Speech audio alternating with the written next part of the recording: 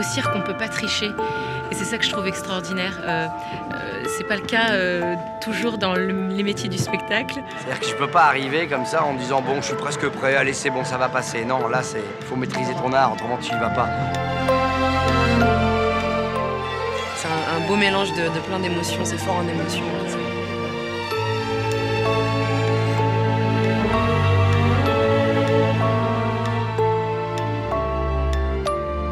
Répétitions, je me suis dit, allez, euh, relevons le défi.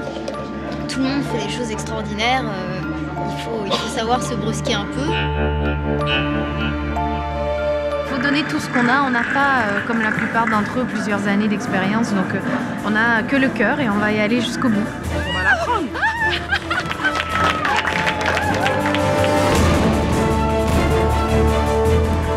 de fou, de malade un peu de dépasser nos peurs aussi, parce qu'il y a tout un truc de challenge et tout ça qui est vraiment excitant. Je trouve ça magnifique.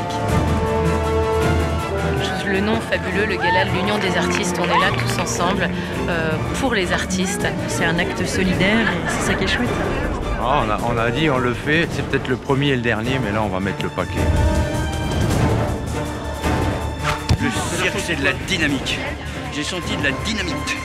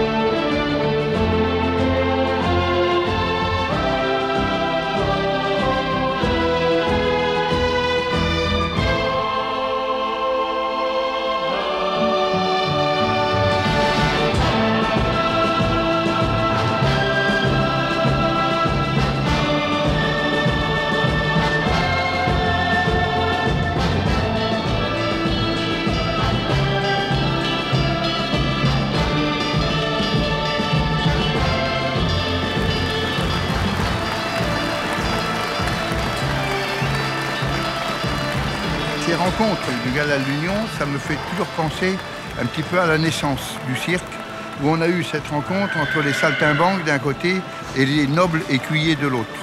Et je trouve que le mot Gala de l'Union des artistes, c'est le plus beau nom qui puisse exister. Oh, oh les gars, mon Dieu Ouais, c'est génial. Je crois que ça s'arrête.